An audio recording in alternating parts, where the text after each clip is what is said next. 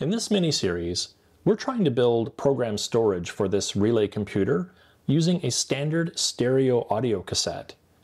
And we've made excellent progress so far, from getting the clock and data pulses working, and even latching the bits to form a program byte. So for this video, my goal is to finish up the program loader, get it hooked up to the relay computer, and run a program that was loaded from a standard stereo audio cassette tape.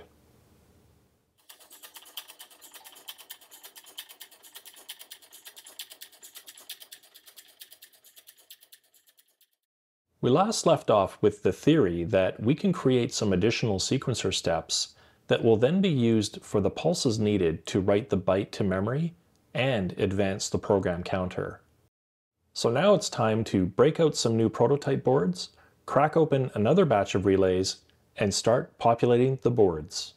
And this time around, I bought this huge kit of jumper wires to keep things a bit tidier, and now I wish I had started this build using this method because it already looks a thousand times better than the previous boards.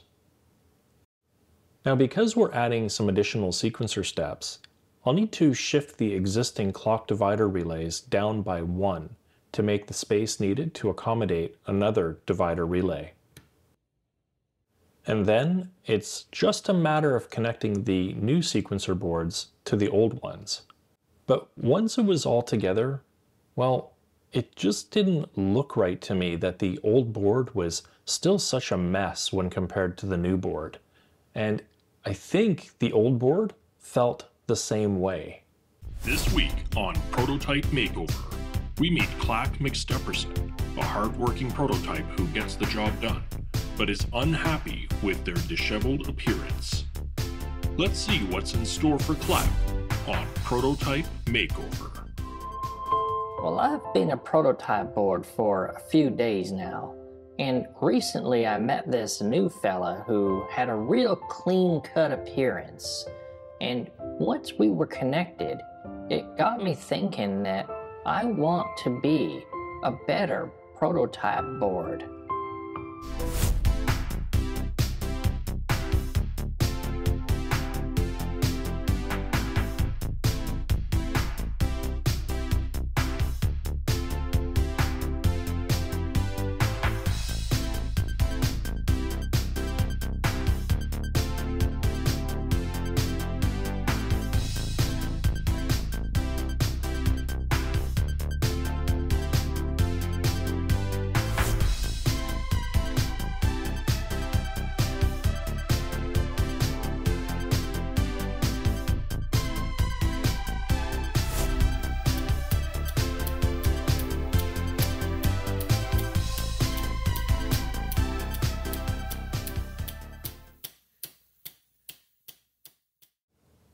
Now that the makeover is done, let's get back to how we're going to write a program byte to memory.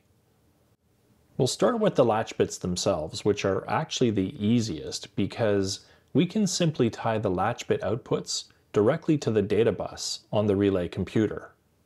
And once that's done, we're going to add some clock cycles that will be used to drive the control lines needed to write the byte. So let's go through those in a bit more detail. The first step is to select the program counter, which gates the current program counter value to the address bus. And we can also use this same pulse to activate the bus to memory control line, which will gate our new program byte from the data bus to the memory card. Our next step is to perform a write to memory, and this takes the gated data bus value from the memory card and writes it to RAM. And since we're still gating the program counter to the address bus, it's also a good time to load the incrementer because in our last two steps, we will select the incremented value and then use that to advance the program counter. Now, we can see that we have a one-step delay between the first two control line activations and the second two. And this is needed because relays need some time to activate and settle between operations. And I'll flash up a link here to another video I did on relay timing in more detail. But back to the job at hand.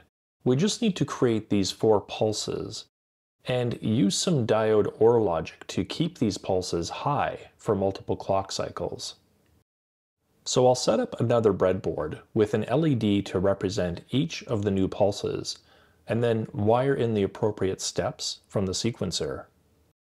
And then just add some trusty diodes and give it a whirl to confirm the pulses are all hunky-dory.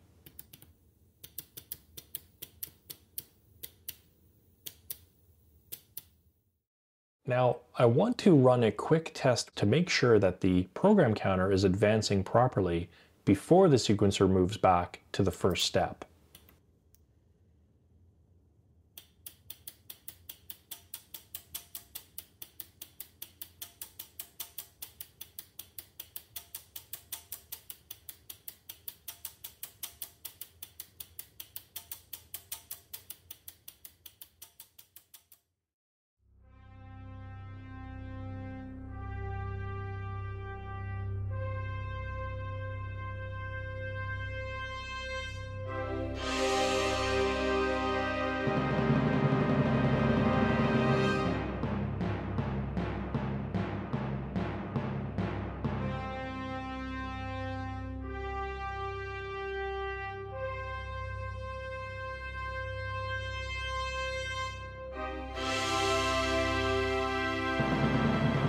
Here we have it the completed prototype audio program loader for the Relay computer. And it's gotten big enough that I've actually had to get a wider angle lens for my top down camera because I couldn't fit this whole thing into frame. But now that it's here, I'll do a quick walkthrough of this board and then we can light it up and try writing some test bytes to the Relay computer's memory. So starting over here, we have the left and right speaker outputs coming from the amplifier that are driving the data and clock relays. And the clock relay is then fed into these clock dividers for the sequencer. And then below that, as before, we have the hard reset and the sequencer primer. On the sequencer, there's these first eight steps, which are using the blue LEDs that represent the bits to be loaded.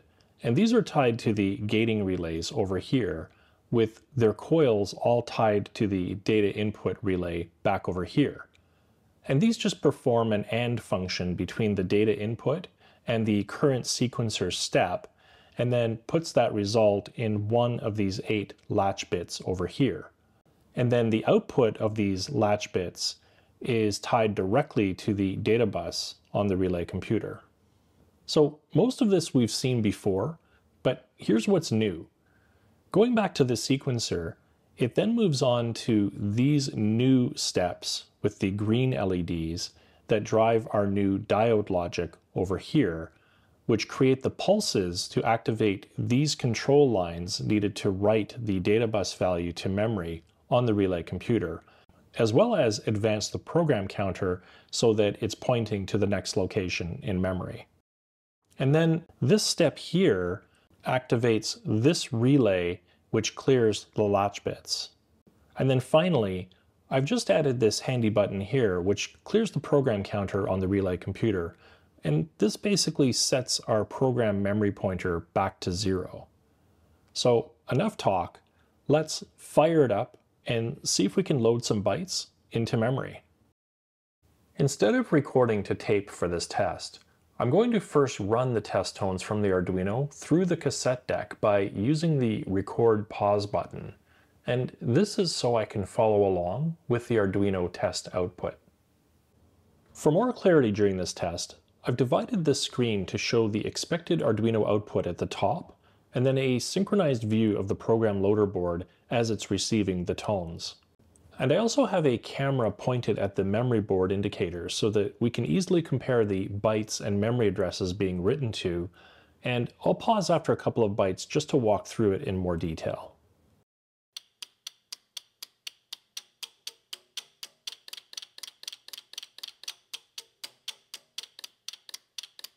All right, let's pause here so we can see what's going on.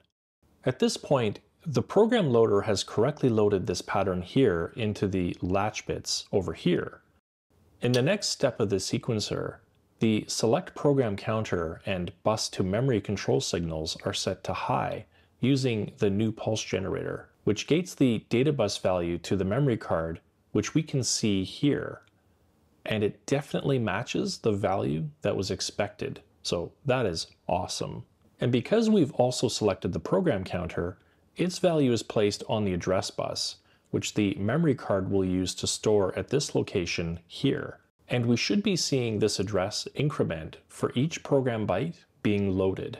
At the next sequencer step, a new pulse is activated, which now takes that gated value and writes it to memory. And we can see the memory write LED lit up as expected. This pulse also loads the incrementer with the current value on the address bus. The next step allows the settle time for the write to complete, and then it moves on to the next step, which is just used to clear the latch bits. And then it advances the memory pointer by selecting the incrementer and then loading that value into the program counter. So far, so good. Let's continue on with the remaining byte patterns.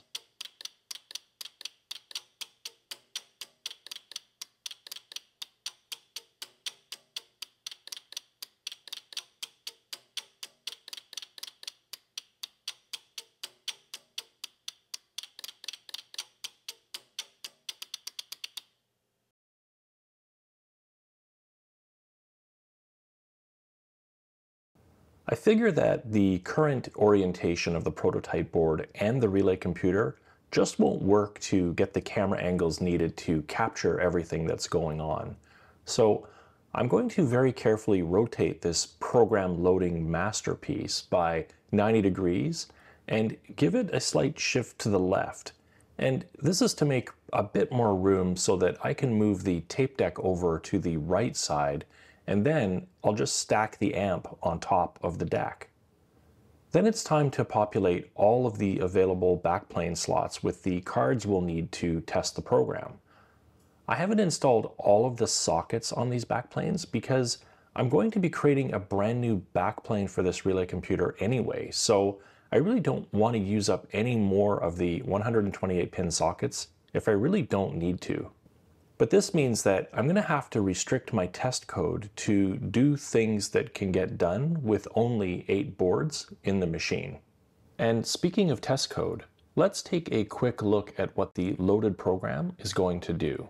It starts by loading a value of 15 into the A register, and then it copies that value into the B and D registers, and then copies that value from D into C. Then it clears A by loading a 0, and then copies that value to the other registers. It then loads a value of 10 into the B register, and then it does more of the same copying shenanigans as above. And then lastly, it should execute a halt that stops the clock, which is this circuit down here. On the clock board, I've added a sequencer primer button here on the right, and we can see now that it's primed and ready to go. On the left, I have a manual clock button, and then here I can start the clock. I can then halt the clock by pressing this button, which can also be activated by the halt instruction we mentioned previously. And for this grand finale test, I'm going to record the program from the Arduino to the cassette tape. And once it's loaded, I'll be kind and rewind and then disconnect and remove the Arduino from the equation.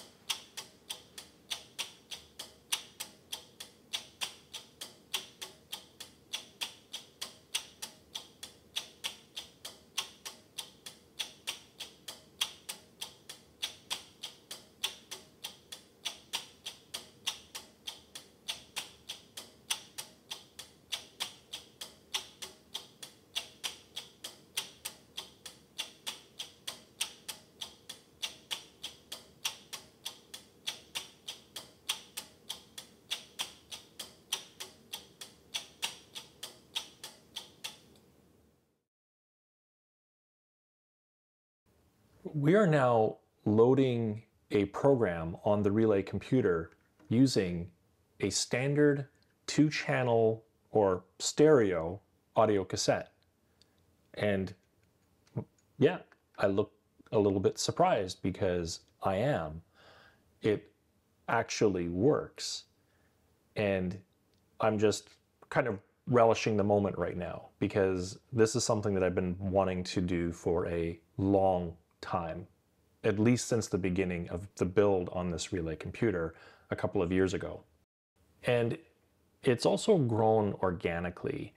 Uh, I started off strong with schematics, uh, but then ended up just sort of adding diodes along the way to craft the signals and prevent some of the backfeeding that was occurring. So it's now time for me in behind the scenes to reverse engineer this and build out some proper schematics. And then the goal would be to have it on a PCB format like this one, but uh, maybe minus the edge card connector because I don't think I would need to have it plugging into the backplane directly. It's going to be more like a set top box sort of thing that uh, would allow it to have the external inputs coming in from the audio amplifier. This little mini series was a pleasant distraction for me, and I hope it was for you too. But I think it's time to go back into working on the relay computer, specifically around how the front panel is going to be arranged and the toggle switches and how all of that data entry stuff is going to work. So with that, thank you so much for following along and I'm looking forward to seeing you next time.